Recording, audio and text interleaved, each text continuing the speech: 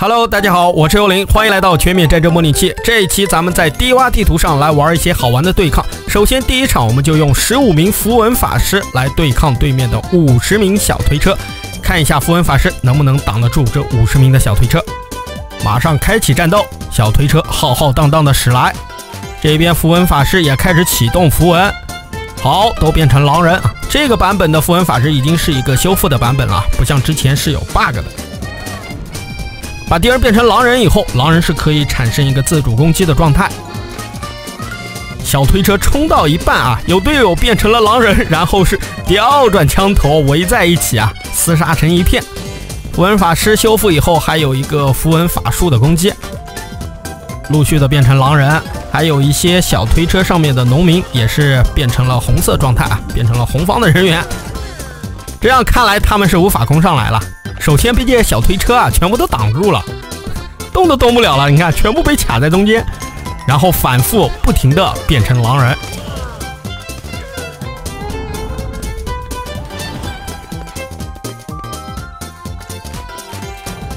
哎，这家伙太兴奋了啊，自己就冲了下去啊！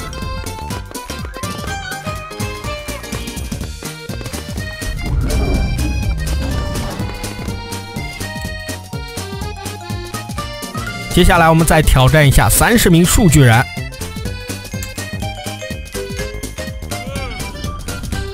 后面的数据人一下就懵了，怎么回事啊？前面的兄弟，你们怎么都变成狼人了？呀，这法术攻击啊，对数据人不疼不痒的啊！数据人现在冲了上来，发泄他们心中的怒火。还好咱们再一次把他们变成了狼人。哎，但是你看数据人这一局啊，没有很多的便捷。他们依旧是蓝色的状态，哎呀，这一局啊打的实在是太惨了。蓝方这边依旧保持三十名数据人的状态，红方咱们增加了一排奥丁，看一下红方这一次能不能守得住。第一轮永恒之枪砸了下来，好，第一排数据人也是瞬间变成了狼人状态，冰枪并没有掉下来。数据人阵营现在十分的混乱，红方这边第二轮攻击开始，符文法师和奥丁的配合啊就可以大大限制对方的行动力。数据人好多都掉下去了，啊，这应该是不成问题了，应该是可以守得住了。蓝方这边我们准备了六排雷神，官方版的雷神一共七十五名，看一下能不能把对面的奥丁和符文法师全部电飞。符文法师是全部被电飞了。奥丁是弹了一下啊，并没有太多的损失。符文法师在飞起来的一瞬间，也是把对方的第一排啊变成了狼人的状态。现在官方版的雷神还是有很多的。第二轮电击开始，没事儿啊，奥丁还是不停的在丢永恒之枪，短兵相接了。现场只能看见雷电，还有冰枪。哈哈。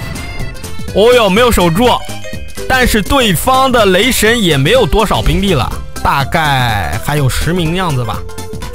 刚刚没守住，所以红方这边我们也增加了一排兵力，红方 mod 版的雷神。然后蓝方这边啊，也是增加了两排，把兵力扩充到了一百名，再来对抗一下。红方的雷神率先丢出了锤子，对方也是开始施展闪电攻击。我连续的闪电，一百名啊，一百名的威力果然不一样。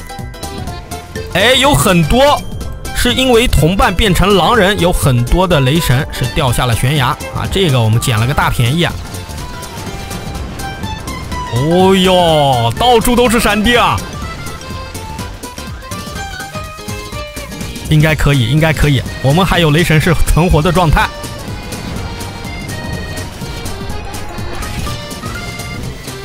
没问题啊，没问题，没问题。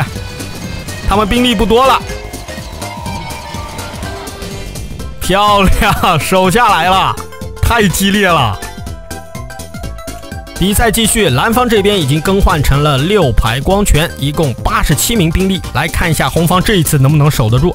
咱们有了雷神以后啊，这个杀伤范围就大大的增加了。一阵闪电过后，对方只剩下了一半的兵力啊。还有一些变成了狼人让他们互相撕咬。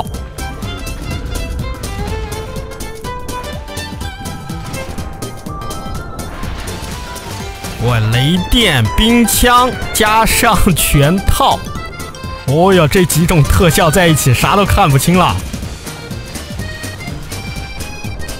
光圈是顶着身上这么多的冰枪往上冲啊。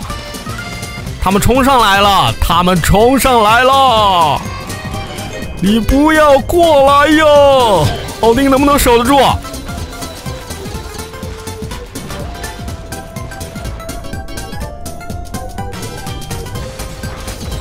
哇，源源不断的光拳上来了，不行了，挡不住了，挡不住了，没有雷神的闪电，完全挡不住。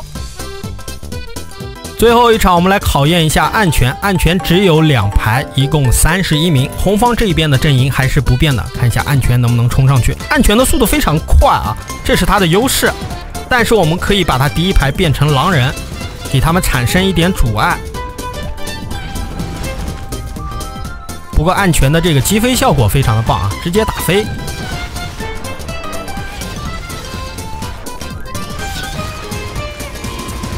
哎，这个胜负啊，还不一定啊。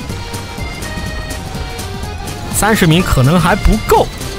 哎呦，好像形势逆转了嘛。奥丁刚刚还有很多，一下就没有多少了。还有一名雷神在坚守。哦，还有几名暗拳呀？一二三四啊，差不多吧。那么咱们这一期的节目就到这边结束了，感谢大家的观看，咱们下期再会。